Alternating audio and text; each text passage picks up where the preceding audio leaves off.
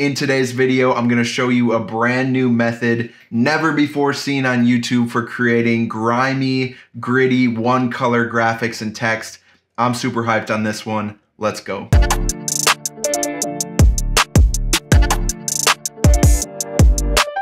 What's up everyone? So first of all, thank you so much to all the new subscribers that are here. Thank you to everyone that's been subscribed. It seriously means so much that you watch these videos, so thank you. If you're not already subscribed and you've watched my videos, and especially if you've learned something from my videos, please take one second, hit the subscribe button. I would truly appreciate it. So let's talk about today's video. I'm doing this tutorial for two reasons.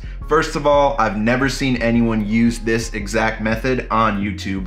I don't think I necessarily invented it. I'm sure other people out there are doing it. I've just never seen it on YouTube. So that's reason number one. Reason number two, I went to the It's Almost Dry tour the other night, saw Pusha T live, incredible performance.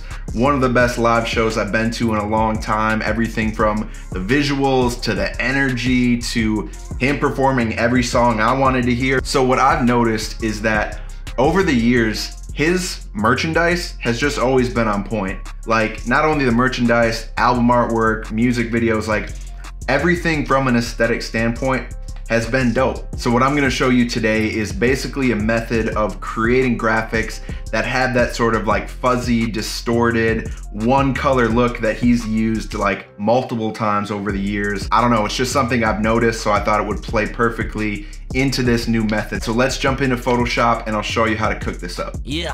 All right, so on the left side of the screen, we've got the text that we're gonna be recreating on the right. I know that this doesn't look like his current merch. That's not what I was trying to do. What I'm trying to do is just show you a method of creating this like super like kind of er eroded, like noisy, uh, one color text, right? And the cool thing about this is that the actual text part of this graphic is live. Like it's live text, you could change the font. If you know anything about Photoshop, you understand how significant that is. So this is gonna be the final result with like the added noise and the, and the rock texture over the top. So I'm gonna show you all that. So the first thing you wanna do is start off with just a, a plain white canvas. I'm using 15 inches by 25 inches in height 300 pixel inch uh, per inch resolution. I use that for all my t-shirt designs. So start there, right? The first step is going up to filter, noise, add noise. We want like a pretty decent amount of noise, so we're gonna go to 50%, okay? Click OK. And the next thing we're gonna do is go to edit, define pattern, and we'll just call it noise and click OK. So now we've got this noise pattern saved in Photoshop, right? So now I'm just gonna hit Command Z, get us back to our, our plain white canvas, and then Command I to invert the canvas. So now we're gonna be working with a black background, right? All right, so first step on the black canvas is going down to add new adjustment layer, which is this little half circle at the bottom of our layers panel. And towards the bottom, you'll see threshold. Click that, and so now we've got a threshold adjustment layer. So the next thing we wanna do is underneath threshold, again, go down to new adjustment layer, but this time go to pattern, which is towards the top. And we're gonna use this noise pattern that we just created. It should show up right away in this box, but we're gonna change the scale to 600, which is gonna give us like these bigger dots, right? And a little, we see kind of more contrast on the screen. Click okay. And then right away, first of all, let's change this to noise pattern so we know what we're, we're looking at. And we're gonna change the blend mode up here to overlay. All right, so it should just go back to, to basically a black um, screen, right? A black background. So now above the noise pattern, we're gonna go to, again, new adjustment layer and levels. And then we're going to right click on levels and go create clipping mask. So it's just clipping to this noise pattern. So these are basically all different levers that we're gonna be able to push and pull as we're creating this graphic and, and it'll allow us to make certain adjustments as we're going along. All right, so now we can add this text in here. So I'm just gonna click the horizontal type tool on the left, click into the canvas, type out Pusha T. I'm gonna hold down shift and size it up And you can see the font that I'm using right here. It's called Knockout. This is, Knockout is a whole family of like really clean, just like sans serif fonts. Um, if you want to check that out, you can just Google Knockout. So now I'm just holding down shift, skewing the text so it looks like the example on the left. Okay, so right now it's just plain white text. That doesn't really help us a whole lot. But if we double click this text layer and we start adding some effects, that's when we can start getting some, some dope results, right? So I'm just gonna show you a few examples using style packs from fullermoe.com just to quickly show you how you could use this. So the cool thing about this is that, um, like I said, there's different levers we're gonna be able to pull, but just purely by trying out some different, um, you know, like pre-made text styles, you can get some crazy results. And because we had the threshold um, adjustment layer and the noise, oh, that was cool. The, um, the threshold adjustment layer and the noise adjustment layer, it's reducing everything down to a, a down to the pixel, you know, black and white graphic, right? I'm going to show you the style that I made specifically for this. So it's very straightforward, like there's only three effects being used. Uh, bevel and emboss, if you wanna pause the video and just use these settings, feel free to do that now. This is the bevel and emboss. Yeah. Here's the pattern overlay effect. And what you'll wanna definitely note is that I changed the scale on this to 600 to match the, the noise pattern overlay um, in our layers panel here, right? Remember we changed that to 600. So we're doing the same thing here with that.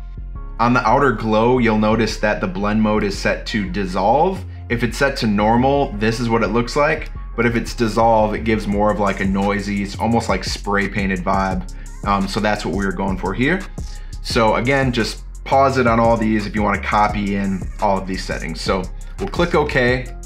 And then now we can sort of push and pull some of these levers that I was talking about. So the first thing I'll do is I'll go up to the threshold level and I'll make sure this thumbnail is um, selected and I'll just pull the threshold right here in our properties window all the way to the right. Um, if you don't see the properties window, you'll just go up to window properties. So as far as the levels adjustment on the noise pattern goes, I mean, I didn't change it a ton, but I'll just show you, you know, if you move the toggles um, in the properties to the left, you basically just end up with like less of that stippling um, in in the text, and that's just on this example. You know what I mean? Like if you if you picked another style with different effects, it would it would probably change it, you know, and look completely different and, and affect it in a different way. But um, yeah, we're not really gonna mess with the levels too much. Right there should be good. So from here, um, to add the rock sort of looking pattern um, over the text, I actually used a displacement. I don't think I've gone over displacement in any of my videos, so this should be cool. I'm not gonna go super in depth with it. If you wanna know more about displacement maps and how to displace you know, graphics or text or use them on mockups or whatever, just YouTube it. I'm sure there's a video that goes in depth on that. So basically the first step in using displacements is finding the image that you wanna use to displace your graphic. So in this case, I just found like a, a really high resolution photo of sand just cause I wanted like that sort of gritty texture. So I thought this would be perfect. I hit up uh, pexels.com, P-E-X-E-L-S.com, found this photo of sand. I saved it as a PSD Photoshop file on my desktop. So what you wanna do is first duplicate this text. So I'll hit Command J, and that's gonna duplicate the layer.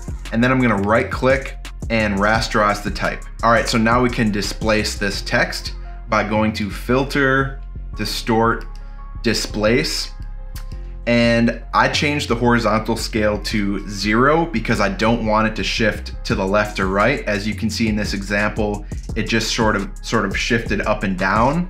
So I changed the vertical scale, which is, you know, up and down to 150, okay? So these are all values that you can mess around with, you know, depending on the look you're going for. I kept it at stretch to fit with the displacement maps and then repeat edge pixels. Again, all stuff you can just experiment with, but this is what I'm using.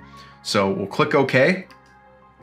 Now you need to navigate to wherever you saved your your photo to, right? Like so I saved this sand PSD to my desktop and now I'm going to highlight it and click open and that is going to shift this text, right?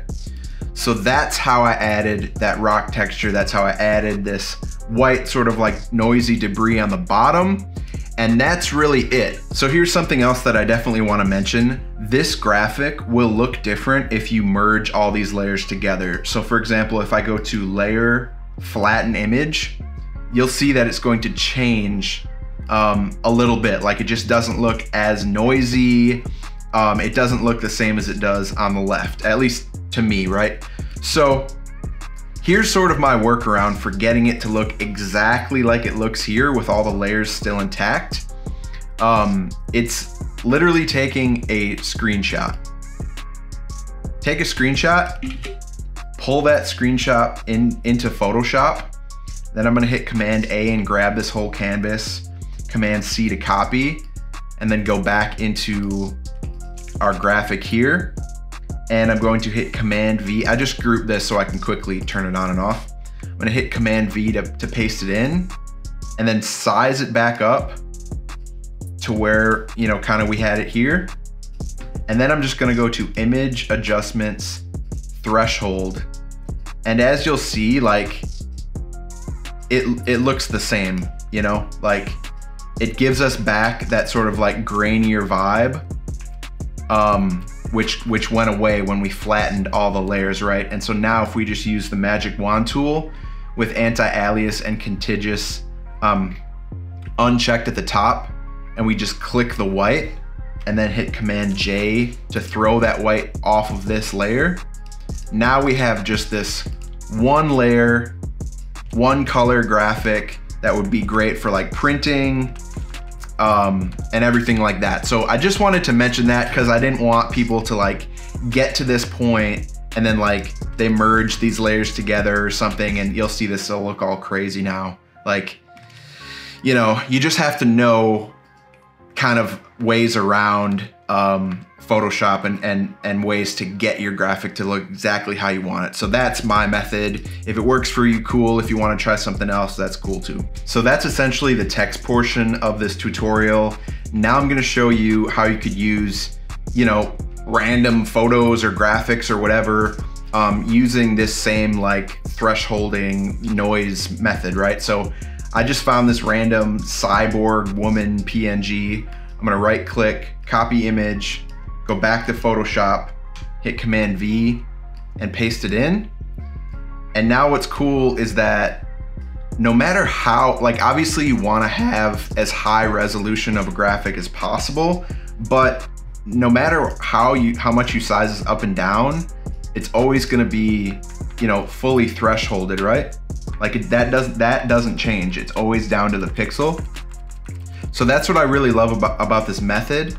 And then now, you know, you can mess around again with like threshold, the threshold adjustment, like this.